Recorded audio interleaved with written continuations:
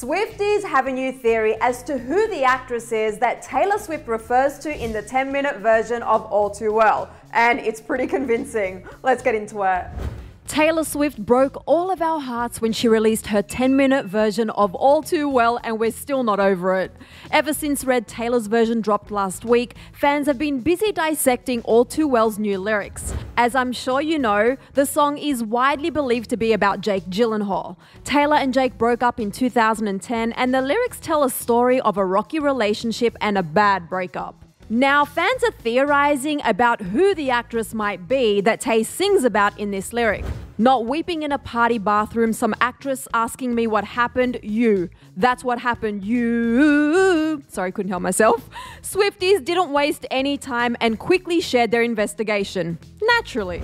Fans initially shared on social media that they thought the actress in question might be Jennifer Aniston because she was rumored to have had a conversation with Taylor at the People's Choice Awards in January 2011. At the time, an insider claimed that Jennifer approached Taylor backstage and told her to hang in there after her breakup with Jake and the media scrutiny that followed.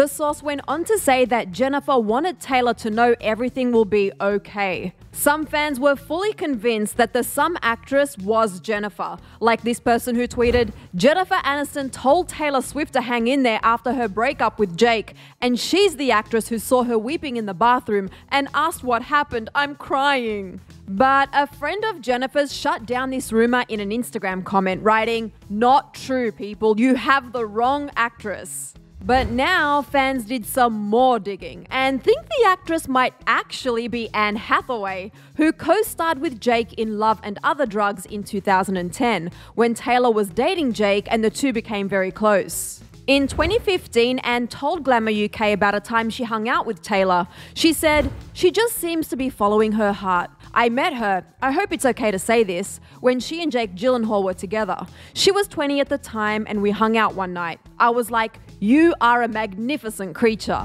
Yes, she is. And continued to explain, She was on fire and I've watched her become this force of nature. And this new theory has some Swifties convinced. One person tweeted, There's nothing I'm more certain of than Anne Hathaway being the one to comfort Taylor Swift in the bathroom after her and Jake got in a fight at the party. Sounds like this fan is running with this theory. And another person wrote, The actress is literally Anne Hathaway. So far, Anne has not debunked this theory yet, so we might be one step closer to getting an answer to this burning question.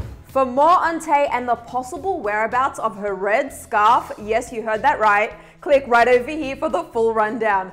After that, let me know your thoughts on all of this and who you think the actress was that Taylor was referring to in the comments section below. I'm your girl, Sussan Mourad. You can find me on socials at Sussan underscore Mourad. I'll catch you later. Bye, guys.